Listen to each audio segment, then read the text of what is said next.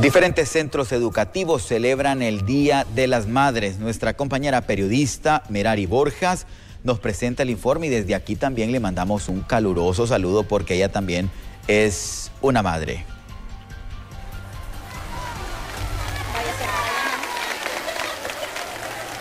Muy buenas tardes compañeros en estudio televidentes de Acción BTV. Este día en la mayoría de los centros educativos se está festejando el Día de la Madre que va a ser el domingo, pero como hoy es un día que aún hay clases, se ha aprovechado para hacerlo. Es por ello que me he trasladado hasta este centro básico Agustín Alonso para conocer un poco, para llevarles a ustedes parte de lo que se están disfrutando las madres en este lugar. Me acompaña la profesora del tercer grado, quien nos va a brindar algo de detalles acerca de las actividades que están realizando. Bueno, buenos días. Nosotros estamos muy contentos en esta fecha porque estamos haciendo honor a quien honor merece. Las madres en este día, eh, bueno, sabemos que son los domingos, el segundo domingo de mayo que nosotros celebramos, pero igualmente hoy estamos unificando la actividad, celebración de madres y padres de este centro educativo eh, eh, Agustín Alonso del barrio San Pablo.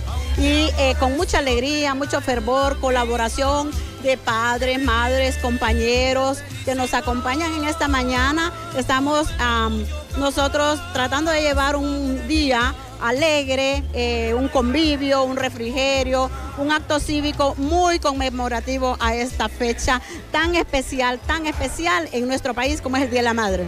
Muchas gracias, profesora. Ahora vamos a tratar de conversar con una de las madres que se han hecho presentes a disfrutar de los actos que están realizando sus hijos. Les vamos a consultar cómo la están pasando. Muy buenas, ¿cuál es su?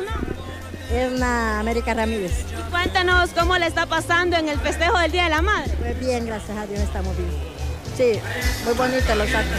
¿Le ha gustado mucho eh, las actividades? Sí, sí. ¿Qué es lo que más le gusta celebrar el Día de la Madre? Eh, pues por la, representación de los niños, va como ellos se expresan, va. ¿Se siente orgulloso usted de ver a su pequeño en el escenario? Pues los pequeños no, porque aquí están, aquí están pero, pero sí de los demás niños.